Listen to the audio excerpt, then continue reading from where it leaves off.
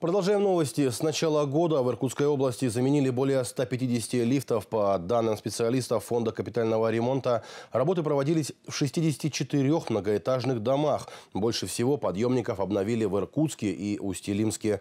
В Ангарске на данный момент монтаж еще двух лифтов продолжается. Работы выполнены на 70%.